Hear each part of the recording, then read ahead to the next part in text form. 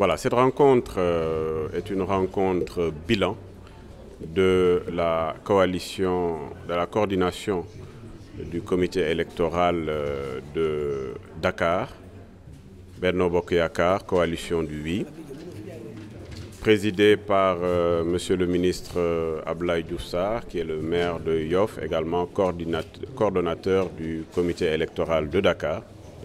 L'objectif étant déjà de faire un bilan sur euh, le plan des résultats obtenus par notre coalition. Les résultats sont évocateurs et euh, sont significatifs. D'abord, ce qu'il faut retenir, c'est que sur les résultats qu'on a issus de la commission départementale de recensement des votes, la coalition du oui au niveau de Dakar a obtenu un résultat probant, a gagné 17 communes sur 19. Donc a perdu deux communes avec des scores très très étriqués sur ces deux communes. Il s'agit de la commune de Gore et de la commune de Gultapé-Fas-Koloban. Toutes les autres communes ont été largement gagnées par la coalition du oui de Dakar. Ce qu'il faut retenir, c'est également qu'on a obtenu 55,7% par rapport à la coalition du non. Donc un résultat euh, largement satisfaisant. Donc l'objectif, c'était de faire le bilan, en attendant bien sûr les rapports généraux commune par commune. Donc chaque commune a, sur le plan stratégique, sur le plan également des résultats obtenus, fait le bilan et sur cette base-là, donc, euh, préparer le bilan départemental, préparer également la, le bilan national euh, qui sera bientôt euh, à la disposition donc, de la presse. Quelle est la prochaine étape?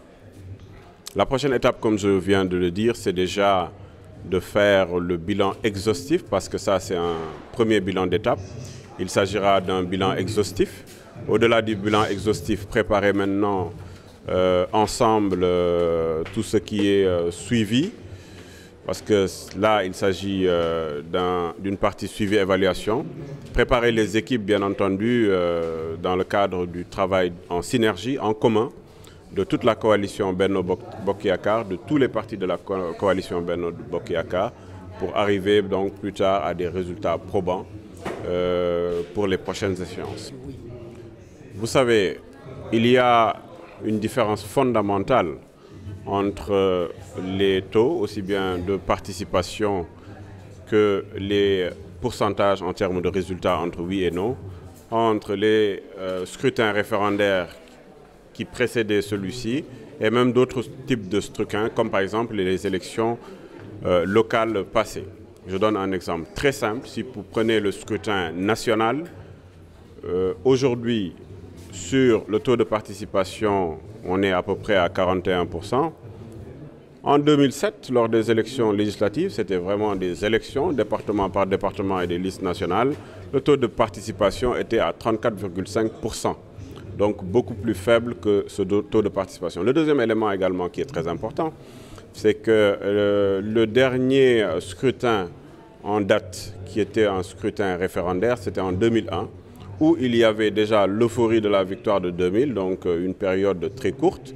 Euh, deuxièmement, il n'y avait pas euh, à côté une opposition qui prenait la chose comme un plébiscite ou non du parti au pouvoir ou bien de la coalition au pouvoir. Ceci a également beaucoup d'enseignements.